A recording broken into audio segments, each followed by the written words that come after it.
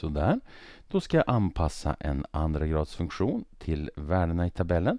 Och jag tänker använda GeoGebra här och nu tänker jag visa att hur jag gör om jag har använt GeoGebra i något tidigare moment eller någon tidigare uppgift, så jag har det redan öppet.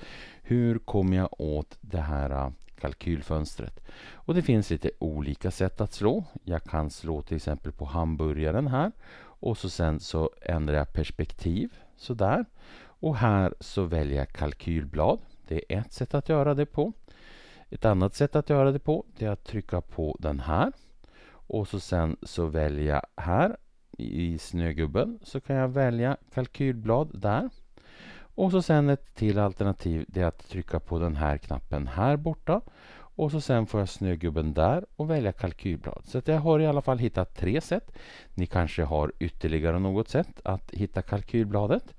Så jag väljer då kalkylbladet så och sen sätter jag i kolumn A så sätter jag in mina x-värden. Så jag trycker på första rutan här och så sen så skriver jag då 5 här. Jag går ner till nästa och så skriver jag 10 där. Och så skriver jag 15 där och så skriver jag 20 där. Så. Och så sen i kolumn B så skriver jag mina y-värden. Så jag skriver på B1 här. Så tar jag en sexa. Så. Sen skriver jag 18. Så skriver jag 20. Och så skriver jag 12. Så där.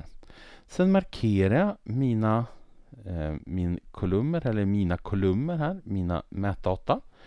Och så sen så slår jag på den här knappen som finns här. Den här kan se lite olika ut beroende på vad man använt senast. Och jag trycker på den. Och så står det två variabels regressionsanalys. Då trycker jag på den. Och då dyker de här eh, punkterna upp. Och så får jag välja vilken regressionsmodell jag ska ha. Och nu ska jag ha en andra gradsfunktion. Nu syns den här lite dåligt här. Här står det regressionsmodell och nu står det ingen. Och då väljer jag eh, andra gradsfunktion. Jag väljer polynom, för det är ju ett polynom, en andra gradsfunktion.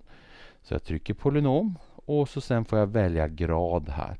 Så eftersom det här är en andra, en andra gradsfunktion så är det här ett polynom med grad 2. Och då ser jag funktionen här utsatt. Så y är lika med minus 0,2 x upphöjt till 2 plus 5,4 x minus 16. Så hade det här varit då uppgiften så hade jag skrivit av det då på pappret och förklarat hur jag hade gjort. Så.